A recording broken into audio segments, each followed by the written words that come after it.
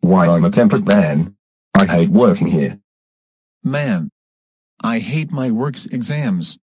Dad, get ready for your exam. I don't want to. Are you sure about that? Okay, goodbye. I have to think of revenge on my exam. HMMM, I got an idea. What if I blast the Spanish anthem, Mahaya? I want to be Poe Pipens. Let's search that anthem. OMG. Found it. Now boosting, La Marcha Real, the national anthem of Spain.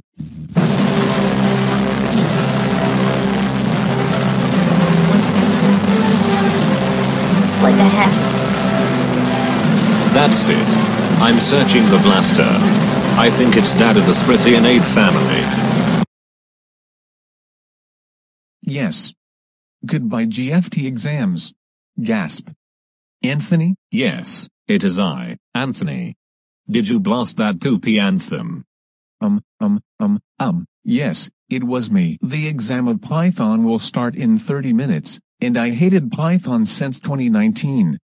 Then, I think that blasting the national anthem of Spain where we live actually was a good prank. So I made that. I'm very sorry. Oh oh ho Spriter's dad Spriter's dad Spriter's dad Spriter's dad Spriter's dad Spriter's dad Spriter's dad Spriter's dad Spriter's dad Spriter's dad Spriter's dad. How dare you blast our national anthem? It's very poopy as your girlfriend said. That's IT. You deserve many horrible punishments. First punishment, giving your carrier to your son. He is from the Spritianade family. Give me your SIM card to me right now. Fine. You're promoted right now. Second punishment, replacing your Honor Plus 8 Proto phone with South Korea Telecom. Blackpink and BTS the best singers. Why is my phone with South Korean SIM card? That happens for being so Spanish. You poopy pants. Third punishment, drinking hot sauce's lover. Wow.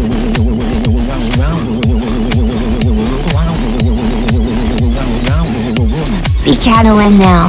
Stop being Spanish. Your oil without tomato sucked on the bread. And for the final punishment, Flying you to the sky with a firework, and you will be exploded. Goodbye world.